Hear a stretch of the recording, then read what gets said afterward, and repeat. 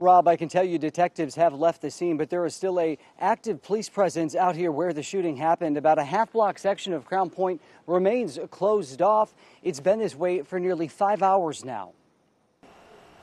Omaha police responded here to 25th and Crown Point to a shot spotter activation. It was just after 5 o'clock. People down the street heard the gunshots. We were sitting outside on the porch and uh, we walked inside and pretty much as soon as I got into the living room, uh, we heard three or four gunshots. The shots took the Replogels by surprise. They say it was quiet beforehand. When we came back out, um, there was a red Jeep that was down there, and he drove really fast that way. And then there was like a cream color car going that way really fast. Multiple witnesses tell me there was a Jeep on the street along with another car, and both took off after the gunshots.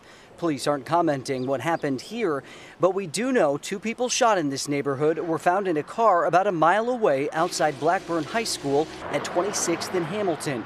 One of the victims shot in the arm, the other more critically hurt taken to Nebraska Medicine with CPR in progress, eventually dying from the injuries. Back at 25th and Crown Point, investigators scoured the scene, taking pictures and marking evidence, much of the time also talking with potential witnesses.